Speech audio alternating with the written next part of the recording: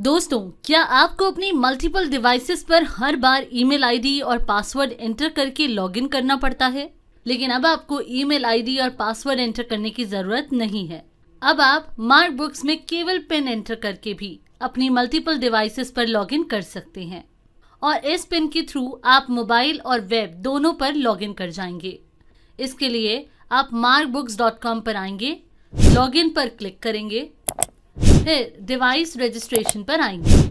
Then अपना registered email ID और password enter करेंगे। और ध्यान देंगे कि डिवाइस पर रजिस्टर करने के लिए आपको एक बार अपनी लॉगिन डिटेल्स एंटर करनी होगी। तो लॉगिन डिटेल्स एंटर करने के बाद नेक्स्ट पर क्लिक करेंगे तो आपको आपकी रजिस्टर्ड ईमेल आईडी पर ओ रिसीव होगा, जिसे यहाँ एंटर करके वेरीफाई कर देंगे। और ओटीपी वेरीफाई होने के बाद इस तरह से सेटअप पिन की स्क्रीन शो होगी। यहाँ आप पिन एंटर करेंगे, जो भी आप एंटर करना चाहते हैं। फिर कंफर्म पिन एंटर करेंगे और क्रिएट पिन पर क्लिक कर देंगे। तो पिन सक्सेसफुली जनरेट हो जाएगा।